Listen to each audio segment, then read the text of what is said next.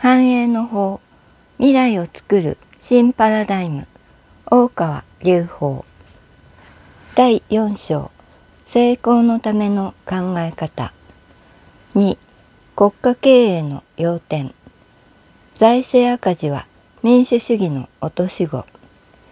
経営には家計レベルでの経営もあれば会社レベルでの経営もあります。また大きくは国家レベルでの経営もありさらには国家を超えた世界レベルでの経営もあります。この経営という言葉は経済原理を通して人々が幸福になれるやり方ということを意味しています。お金を一種の血液に例えるならば血液の循環によって体がうまく機能するようにお金を循環させることによって会社や国家世界がうまくいくようにすることが経営だと言えます。したがって経営に携わる者はお金の循環をどのようにすればよいのかということをいつも考えている必要があるのです。今日本では国家の財政赤字額が非常に大きく国民は困ったものだと思っています。しかしこれを解決するのはなかなか難しいのです。なぜなら財政赤字の根本原因は民主主義政治のシステムそのものにあるからです。政治学的に見ると民主主義国家には財政赤字が生じやすいのです。その理由を説明しましょう。政治家が選挙で票を得て当選するためには多くの有権者の声を聞かなければなりません。その声の中には暮らしを良くしてほしい、地域を良くしてほしいという願いが数多くありますが、経済的支出を伴わずに実現できるものは少なく大抵は予算を必要とします。したがって議員がそういう願いを聞き入れ実現しようとすればそれに予算を配分しなければならないため民主主義社会においては原則的にばらまき型の財政になるのです。国家は民主主義性が高まれば高まるほど構造的に財政赤字になるようになっています。大勢の人の意見を聞いてその願いを達成しようとすればするほど予算のばらまきになってしまうのです。国民の声を無視し官僚政治だけで済ませてしまえば予算はこれだけですからこれ以上はできませんと言って終わりです。しかし国民の声をいろいろ聞いているとこれもやらなければいけないあれもやらなければいけないということになりそのためにはお金がいるのでどうしても赤字になってしまいます。この繰り返しなのです。このように民主主義国家は財政赤字を生みやすいというシステム的欠陥を持っています。これを克服するための根本的方法を政治学はまだ発見していません。財政均衡法でさえ容易に機能しないのは皆さんご存知の通りです。民主主義社会の財政赤字を克服するための方法はシステム的にはまだ開発されていないのです。そのため財政赤字の解消については国民と政治家の常識や倫理観の問題にされたり官僚の理性的判断などに託されたりしていますが結果が悪ければ不満感だけがたまりどこもかしこもうまくいかないように感じられるのです。結局のところ国家の財政赤字の基礎にあるものは欲望だと言えます。仏教的煩悩の問題を国家のレベルにまで広げてよいかどうかは議論の余地があると思います。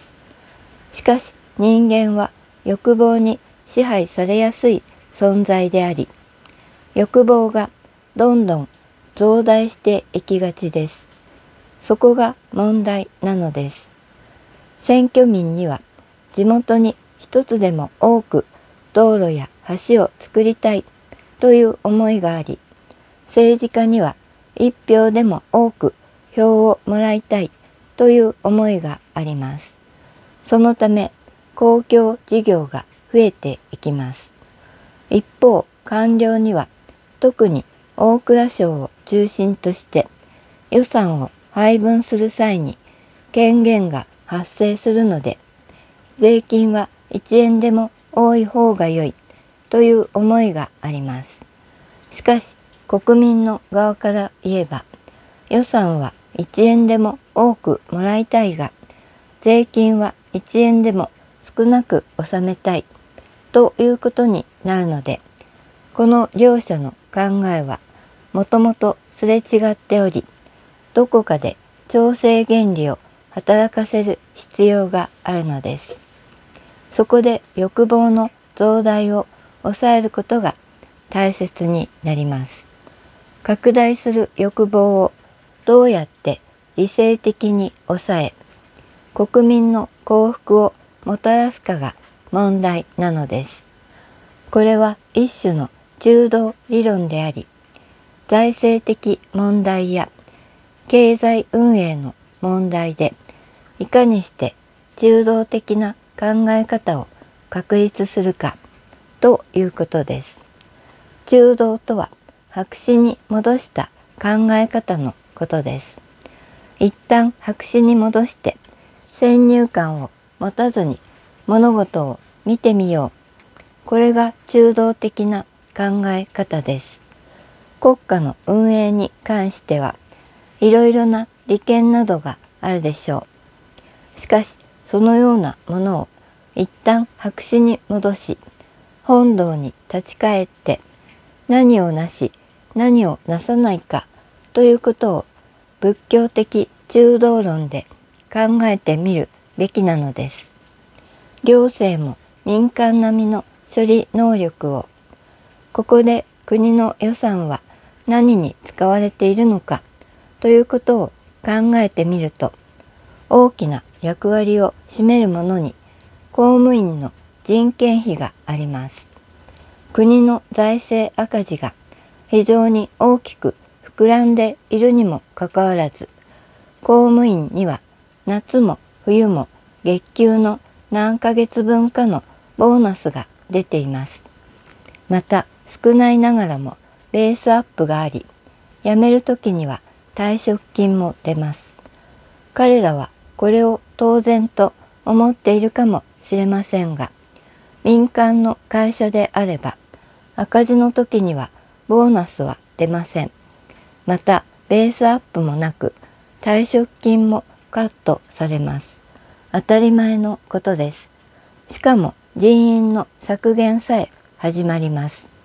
これが本堂なのです。それを考えると財政赤字の場合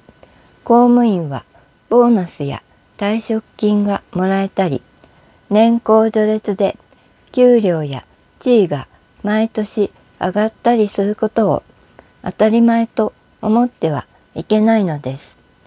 国家の財政が赤字の場合公務員はどうなるかということを本堂に立ち返って考えてみるとまずボーナス昇給退職金がなくなります次には人員削減が行われます